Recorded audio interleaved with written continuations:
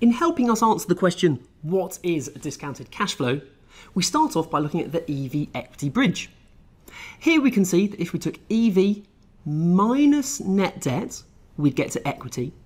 Or alternatively, if I wanted to get to EV, I could take equity plus net debt equals EV. It's the first one I want to look at here, EV minus debt equals equity. How do you actually calculate that EV or enterprise value? Well, we could use multiples, such things as trading comps, or we could use a discounted cash flow, a DCF. The enterprise value represents the net operating asset of a business, and by doing a discounted cash flow, we will thus work out the value of that enterprise value of those net operating assets. So we normally shorthand it, it's normally called a DCF, and it takes a cash flow forecast and discounts that to today's value.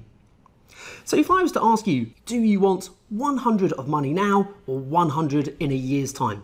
Most of you would probably say to me, I want that money now, please. And if I then said, why? Why do you want the money now? You'd say, well, I could invest it and that 100 could be 105 in a year's time. So I'd much rather have the money now. Also, there's inflation, which would reduce my purchasing power over that year.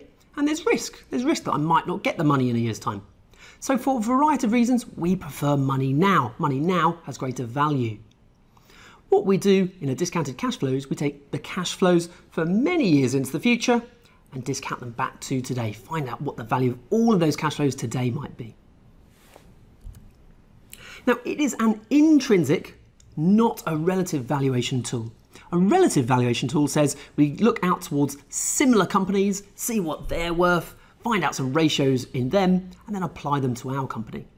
Not with a discounted cash flow. A discounted cash flow says I want to find out the revenues of my company, its costs, all of its cash flows. I then find the cost of this company's finance, and then I find the value of this company. Very much looking internally.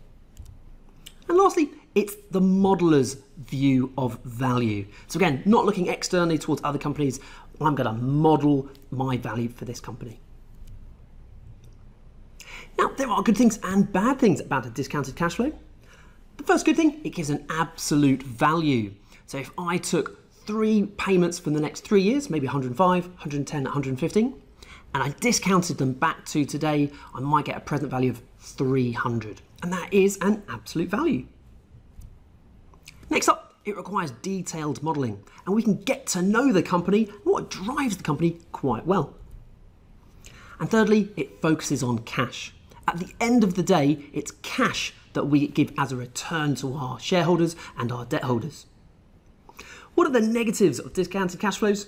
Well, it does require significant expertise to be able to build one, and it's very sensitive to its assumptions. If we looked at those cash flows going forward and I just changed the growth of those cash flows by maybe a percent or two, that would dramatically change the value of the company. However, the positives do tend to outweigh the negatives, and we find it a very valuable tool for helping us value a company.